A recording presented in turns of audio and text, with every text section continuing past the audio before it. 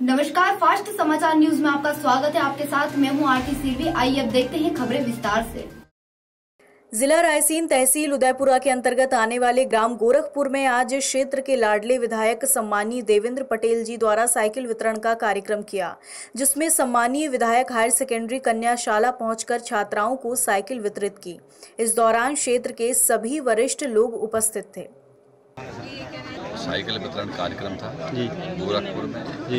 मध्य प्रदेश सरकार ने माननीय श्री कमलनाथ जी के द्वारा जो साइकिल वितरण का सत्र के प्रथम सप्ताह में। सप्ताह के प्रथम दौर में ही दौर में ही ये साइकिल वितरण का कार्यक्रम उसमें मेरा यहाँ आना हुआ। गोरखपुर का यहाँ अच्छा लगा।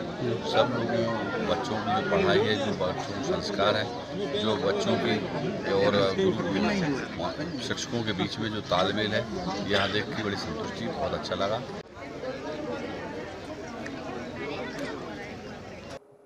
रायसेन से दुर्गेश तिवारी की रिपोर्ट।